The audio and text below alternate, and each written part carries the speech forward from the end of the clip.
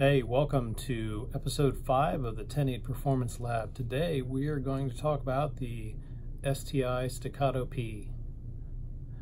Just got this guy in from Gunbroker. I was too impatient to wait for the uh, Staccato P Duo, the optic ready one that I had had ordered from STI. It's going to be a few months yet. But, all right, so getting on to business. Um, I've been around the, the 2011 design and it wasn't called that until sometime later. Back in 92, 93, uh, Chip McCormick Corporation, yes, the same people who brought you the uh, Power Mag and a whole bunch of other stuff. Uh, Chip McCormick uh, partnered with uh, Virgil Tripp, Sandy Strayer, and they brought out the, um, the frame as a kit. I remember seeing the little um, flyers magazine uh, page style flyer that was sent around to all the gunsmiths and at the time I was shooting for Baylor's Gun Shop in Pipersville, Pennsylvania. Uh, remember seeing that in the mail, and it was pretty revolutionary. It claimed that it was going to be the uh, same width or less uh, than a regular 1911 with grips on, and that you're going to be able to uh, run um, double stack magazine and 38 Super at the time. That was, was uh, where we are going with competition stuff. It was kind of a big deal. So uh, not long after that, I got one and uh, started shooting.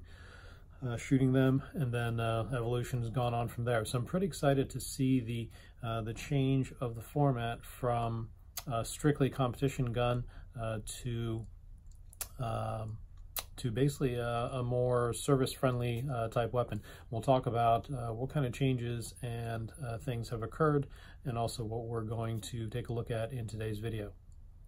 So for those of you who have been around the competition scene or 1911s in general and remember the uh, the STI, the, the double stack frames are also the SVIs um, and think, well, just a competition toy, that kind of thing uh, or unreliable, finicky. Uh, so all those things were, were valid uh, during the time that uh, STI was primarily a company interested in the competition sector.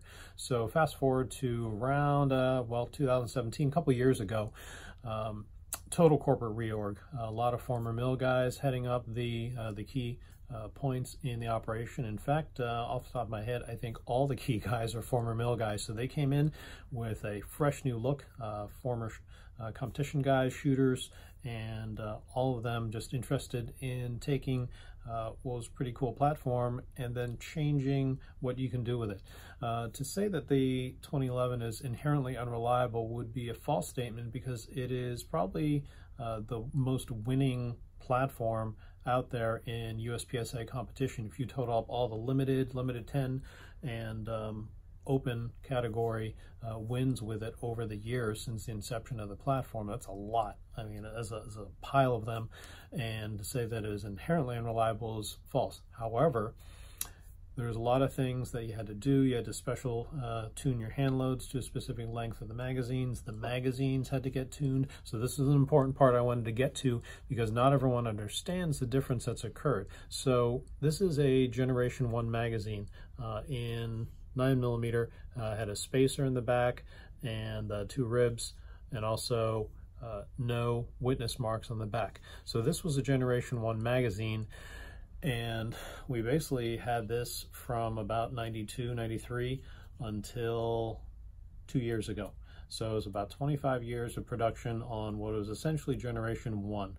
All right, the tooling for this magazine did not permit it to be formed in a manner that gave you a, a complete shape at the end. It may have, it may not have. So if you had 10 magazines, which I did once, I bought, uh, built uh, an STI frame, I bought a whole pile of magazines and just culled through to find ones that worked without tuning them. So if you look at um, the history of the competition guns, there's a, there's a whole cottage industry of tuning the magazines. I even had a whole kit from Dawson Precision uh, with all the tools and the measurements and this video. And um, you needed to do that because the magazines weren't always formed correctly. You would get uh, dents in the body of the tube, so it wasn't the correct diameter. It was rough inside. Feed lips might not have been the correct dimension or parallel. Uh, the followers were rough, and the springs uh, would need to be set so that they would actually um, stack in a consistent manner. So yeah, other than that, so it was, a, it was a huge issue with these. So fast forward to a couple years ago, and we have uh, new Gen 2 magazine which uh, has uh, different tube geometry and is made on tooling that is much uh, stricter in what we end up with as a final product. In other words, you can buy one of these magazines and throw it in your gun and it will work uh, versus having to tune the thing or buy 10 of them and hope that maybe four of them will work and then return the rest of them. All right, so uh, that was probably the single biggest, most important change. And if you, um, you know, somebody says, hey man, I'll give you some STI magazines for cheap, and they're giving you these, uh, first kick them, uh, kick them hard, and then run uh, don't walk, run. Uh, no point in getting these when these are now readily available and they work. And the prices come down too. This, uh, I think, average retail on this is about 50 bucks versus this thing, I think with the tuning is like 120 bucks or something like that uh, back in the day. And you can still see them floating around tuned. Um, not worth it. Now that we've talked, kind of uh, eased our way into the nuts and bolts of why I have decided to check this stuff out. Um, today's video, uh, we've got I got a lot of content because uh, I can't really go over gun in just one video, and I don't want to make it 10 hours long for all of our collective sanity. So today we're going to talk about uh, basically we're gonna we're gonna have a series of these videos where you will get to uh, follow me through uh, my getting into uh, working with a gun. And uh, today we're going to start out with a baseline comparison. We'll talk about uh, the nuts and bolts of it a little bit from the outside. We'll crack into it inside the, uh, take a look inside in the next video. But today we're going to compare this guy with the classic, um, a single stack 45, as well as, let's get this guy from off screen, uh, as well as a Glock 17, which is uh, the closest size comparison as far as a modern service pistol. All right. We'll look at first the weight of the three guns.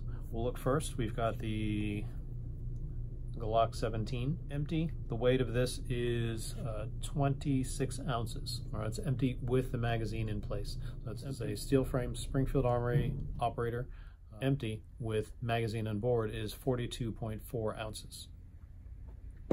And lastly, go to the STI, um, empty, 36.2 ounces with a 126 millimeter magazine on board. There are two different magazines that are available for this. The 126 millimeter magazine is a flush fit and it uh, carries 17 rounds. The other magazine that you'll see paraded around during this video is the 140 millimeter one, and it is a uh, 20 round capacity, but it sticks out.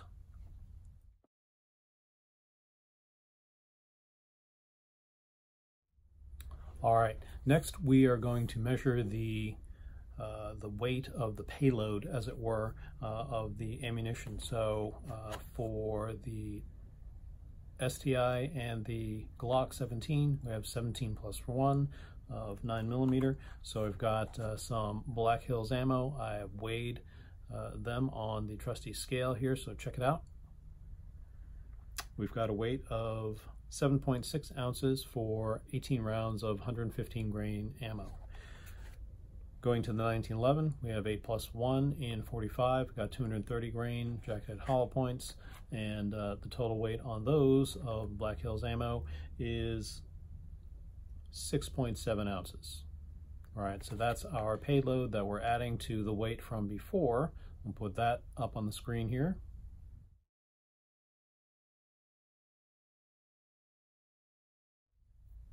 One of the other important things to figure out as far as uh, whether the 2011 is is going to be a fit for you is looking at the uh, the width.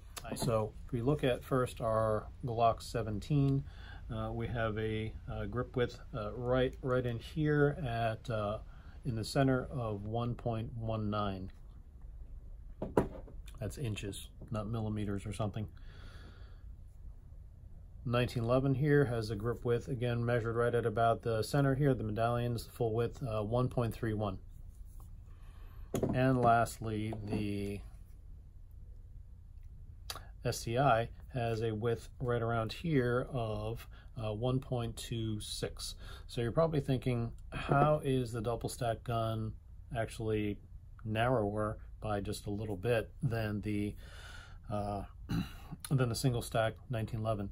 Uh, well, basically what they did is uh, the circumference, there's, there's a little bit of a difference. They ballooned out what would be uh, the top front or the front corners of the gun to accommodate the rest of the magazine. And because uh, this is a molded uh, piece, there's no grip panels to bolt on. So, which is why this became the front runner and uh, high capacity 1911 frames like the Caspian, which is basically a double stack 1911 with grip panels you bolt on, uh, and also the um, the para ordnance. Uh, so that was basically it was a kind of a race uh, to see who's going to get to the top at the time in the early 90s.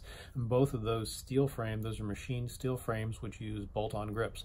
And I ran a para ordnance for about a season and a half until um, the STI, or sorry, at the time it was a Chip McCormick frame, came into being the 2011 as we know it now uh, because I, I ran uh, skateboard tape on the uh, the para ordnance frame, so I didn't run grip panels at all, and it felt kind of weird because I was holding on to just a bare frame, and it had little steps, and uh, just really wasn't meant for you to hold on to. So it took a bit of sculpting and uh, and cheating to get that thing to to feel right, uh, little grip fillers and all that stuff. so when you hold on to this gun, it's going to feel uh, surprisingly, honestly, surprisingly good. Because when I uh, first felt these, I was like, "Whoa, uh, how is this possible?" And even with the size of my uh, my hands, which you know, not gigantic, I'm a smaller guy, uh, I was always able to reach the magazine catch, and everything just felt really good on it, thanks to it not being real fat on the sides and fore and aft. dimensions familiar, so that's that's your grip dimensions. So we need to get now, we've got the, the data and the stats out of the way so that you can kind of form your own opinions about how this fits into what you need. And now you're probably getting to the point, it's like, all right, that's enough data. Hilton, what are your impressions? Well, hey, here we are. I've got a lot of opinions. So an important caveat to this, as I said at the beginning of the video, I've been around the 2011s for a long time, basically since their inception. So this is not a new gun to me where I'm just so wowed by the mere concept of a gun that uh, seems like a Glock and a 1911 had a baby. So, oh. Little Tinder date for these guys here, swipe right. All right, but uh, sorry, couldn't resist. I've been around the guns for a long time, so uh, I've always, the one thing that I've always found is I really like, despite having pretty small hands, I like how they feel in my hands. Super nice slide to frame fit. It is uh, like uh, rails riding on butter or whatever, you know, kind of nice euphemism you want to use. Uh, barrel fits super clean and snug uh, but without being uh, so tight that you have to beat the thing open uh, when it's new. It is, it is, it was glassy smooth from the moment I pulled it out of the, the case. And uh, the trigger press on this thing is uh, super nice. Uh, I didn't get a chance to weigh it. Like I said, I, I basically got it and figured out some holster stuff and ran it to the range.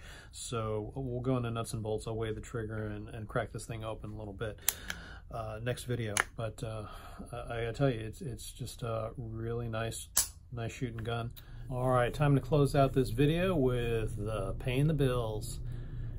If you have not been following along, uh, the most important thing I want to talk about in reference to this uh, organization not being a charity is uh, coming out to train with me. I am uh, building up my training schedule uh, fairly aggressively. I have a whole bunch of classes in the South Florida area, so if you are local uh, to me, check out the link below for the training section and you'll see uh, open enrollment classes at the Homestead Training Center for pistol optics and 1911 slash 2011 performance, uh, all one day format classes. And also if you are law enforcement military, I have uh, a number of one-day classes as well at the Coral Springs Police Department. They have a spectacular range facility, and we're lucky to have them host us. Also, Homestead uh, facility, in addition to being awesome and huge and sprawling uh, and super nice, is right next to the Air Force Base. And if you can't get enough America and freedom, just blasting some rounds down with me on a sunny South Florida day, um, F-16s, and now they apparently have some other, uh, all kinds of uh, cool airframes, helicopters, just freedom. Uh, very exciting, good stuff. But uh, also check out the links below for more 10-8 performance goodness. Instagram, uh, follow the, the, the feed and the stories for more stuff on the, the 2011 as I wrench through it, and uh, just a lot of good content, and also discount codes for uh, some training stuff and some apparel. Uh, that's I think all I've got. Like, link, subscribe, all that. Uh, share. Just click things, and uh, we'll see you next time at the 10-8 Performance Lab.